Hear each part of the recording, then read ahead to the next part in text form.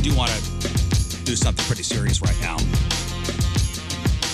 So as our as our listeners know, uh, Tony Patrico has not been here for the past couple of days, and now I would like to address the situation to the extent that that we can right now. So it was announced here at the radio station a couple minutes ago that that Tony is no longer with Hubbard Radio or a member of the Rizz Show, and this is a this is a personnel situation, and because it is a personnel situation, I I we cannot get into this the specifics of it.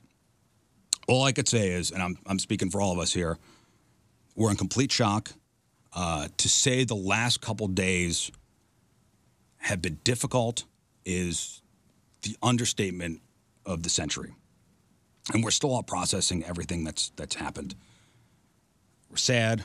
We're we're devastated. We've spoken with Tony. Uh, he is our friend, uh, but this is this is this is really hard. And again, speaking for all of us here on the show, we have nothing but compassion and empathy for everybody involved in the situation.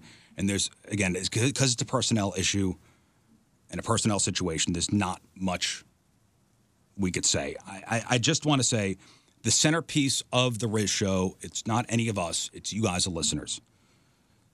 So we trust that, that you'll be back with us tomorrow and, uh, and we'll be here for you and we'll, we'll do this again tomorrow. So thank you. We'll see you tomorrow.